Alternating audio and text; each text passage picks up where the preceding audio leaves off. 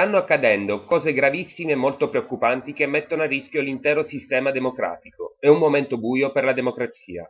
Il presidente della Camera Gianfranco Fini, in un colloquio con il Messaggero, anticipa quanto dirà nel videomessaggio che oggi sarà trasmesso sui siti di Generazione Italia, Secolo d'Italia e Libertiamo, determinato a dire la sua verità sulla vicenda di Monte Carlo, a suo dire soltanto una manovra per screditarlo. Quella che abbiamo davanti, dice Fini, è una sfida all'ok corral, un combattimento all'ultimo sangue, me ne rendo conto, ma non mi lascerò sconfiggere senza combattere. Anzi, mi batterò con ancor più forza perché, assicura la terza carica dello Stato, non ho nulla da temere e di sapere che è tutta una montatura, un falso bello e buono. La magistratura lo proverà, basta aspettare.